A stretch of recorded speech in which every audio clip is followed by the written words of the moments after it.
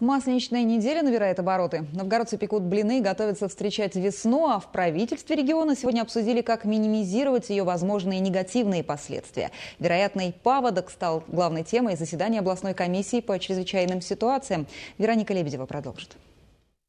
Паводок нынешней весной, скорее всего, будет сильным. По прогнозам синоптиков, тепло придет резко в конце марта. Начнет таять снег, причем уже сейчас в восточных районах области его объем превышает норму в два с половиной раза. Реки будут стремительно освобождаться ото льда. Уровень воды может подняться до критических меток. Особое беспокойство вызывают мста и ловоть. На озере Ильмень уровень поднимется до отметки 580-600 сантиметров, то есть близкого к критериям опасного явления – Возможно начальное подтопление поселке Краснофарфорный, Пролетарий, Малая Лучная, Холыня и в городе Старая Руса. Сложная остановка может сложиться в поселке Кресы, так как прогнозируем уровень воды ожидается на отметке 370-390 сантиметров над нулем поста, что превысит критерии опасного явления на 20-40 сантиметров. По словам специалистов, уже сейчас уровень воды в Ильмени поднимается примерно на 2 сантиметра в сутки. И это несмотря на то, что на озере стоит лед. С каждым днем прибывает вода и в Волхове.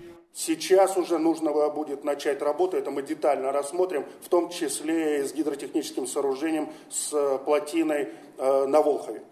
Э, важным моментом является то, что э, и Волхов Э, к настоящему времени, это возвращаясь к этой плотине, говорю, э, вода выше уровня многолетних наблюдений на 1 метр 80 сантиметров.